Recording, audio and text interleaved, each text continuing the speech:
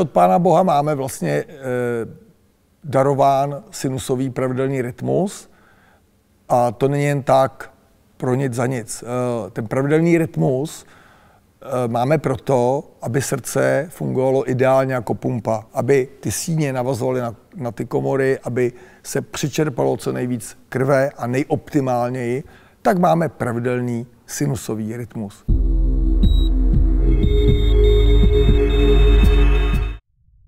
Co pak, co pak? Jdeme na to. Já si nemůžu nějak dodechnout, nebo co? To je tréma, já to moc dobře znám. Pojďme, pojďme, pojďme.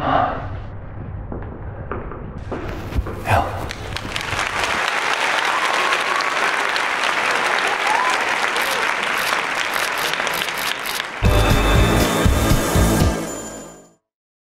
V případě fibrilace síní jde o rytmus, kdy v síních, v pravé a levé síni, vznikne chaotický, naprosto neorganizovaný elektrický chaos, který způsobuje, že síně a komory fungují naprosto nekoordinovaně.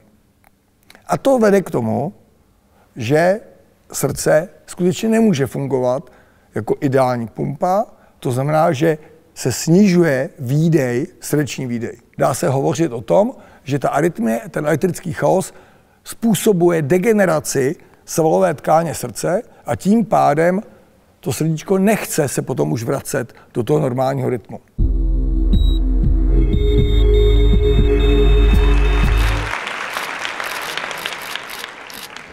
Našimi hlavními prioritami jsou bezpečnost, boj s korupcí, zvýšení minimální mzdy, Nuda, přitlačte, takhle nedáme. tedy hlavně veřejná bezpečnost dostupná pro všechny, radikální a nekompromisní boj s korupcí, taky chceme zvýšit důchody a minimální mzdu. To už jste říkal.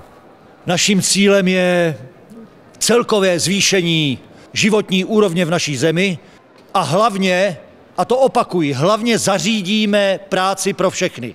Ježíš Maria. Ovšem hlavní prioritou je ta bezpečnost. O tu, o tu jde hlavně.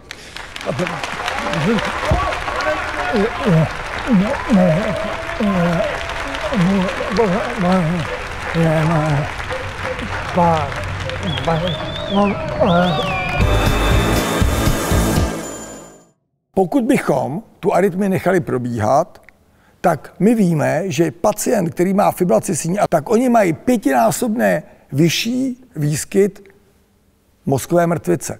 To znamená situace, kdy se v srdci vytvoří sraženina, krevní sraženina a ta potom putuje cévní cestou, těmi dálnicemi po těle a samozřejmě, že ta hlavní tepna, která vystupuje z levé komory, ze srdce, jmenuje se aorta, srdečnice, tak ona vysílá větve k mozku. To jsou první vlastně po těch koronálních tepnách, který vyživou, které vyživou srdce, tak potom tepny, které zásobují mozek krví, jsou první v řadě vlastně.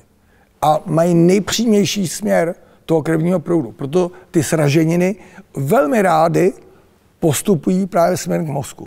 A ucpou jednu nebo druhou část. To, že se ucpe to krevní proud do toho mozku, tak skutečně může výst až nebo vést k úmrtí toho pacienta. A nebo to má ty fatální následky ve slova smyslu těžkého ochrnutí, invalidizace. Pacient nemůže mluvit, má dysartry, nemůže mluvit, nemůže se soustředit, nemůže vnímat, eh, je ochrnutý na tu danou polovinu těla a musí se něco dělat.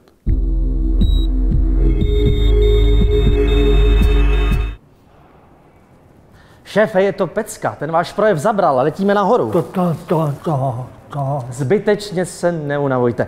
Toto, to si nechte až pro ty blbečky. To ne, není normální. To není, to máte pravdu. Takhle v životě nikomu preference nahoru neletěly. Možná i k do- doktorovi. K doktorovi teď se zbláznil. Oni tě milujou, seš jejich. Show must go on.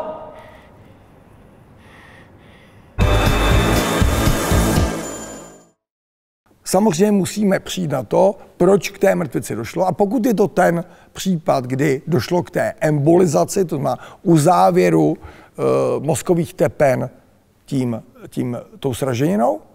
Pak musíme třeba urgentně způsobit to nebo zajistit to, abychom zajistili průchodnost, abychom tu tepnu zprůchodnili. Samozřejmě, že u pacienta, u kterého zjistíme, že má fibrilaci síní a má teda poruchu tohoto rytmu, tak musíme zajistit právě všechny preventivní postupy tak, abychom té mozkové mrtvici předešli.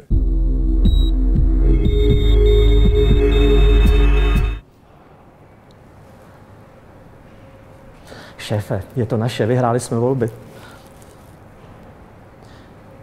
36%. A minimálně 30 jde za váma.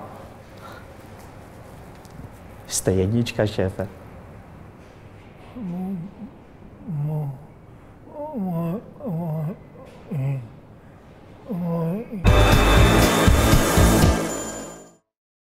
K doktorovi toho pacienta přivedou většinou ty nesnesitelné pocity bušení a nepravidelného bušení srdce.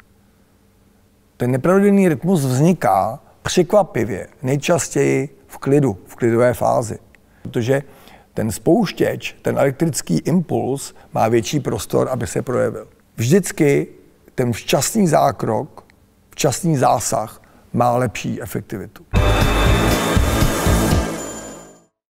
Co mám dělat pro to, abych tu arytmii nedostal? Na to my neumíme odpovědět. Je to úplně něco jiného, než u cholesterolu, u infarktu myokardu, u pacientů, kteří kouří, pijí alkohol. Je důležité více než říci, co máme dělat proti tomu, aby ta arytmie vznikla, máme říci, když už vznikne, tak máme rychle jednat. Ta povědomost o, o arytmii, která se jmenuje fibrilace síní a která je vlastně takovým jakoby nebezpečným zabijákem, tak já si myslím, že je důležité, aby všichni věděli, že se s tím dá něco dělat a že se s tím má něco dělat.